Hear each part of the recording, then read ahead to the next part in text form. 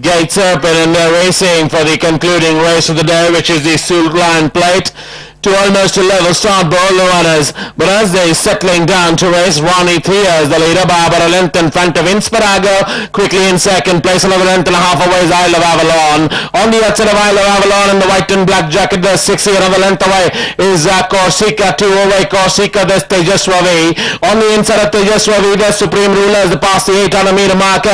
A length and a half away in the gold and red jacket, there's Real Presence. A gap of two and a half lengths away, Fight to Warner with Superior Strike on the inside rolling. A gap a five and a half lengths away, there's Pocket Queens as they're already passing the 600 meter marker.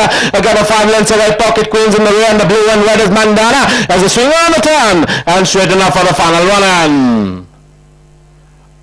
The turn and into the straight, Ronnie Thea comes in on first, Babel a length in front of Inspirago. On the inside, there's Isle of Avalon who gets a lovely opening on the inside rolling. And the length and a half away, there comes Tejas Ravi with 6A. On the outside is Real Presence, but it's uh, Isle of Avalon running a bit erratic, but it's about two and a half, three lengths in front of uh, Ronnie Thea and is just running away.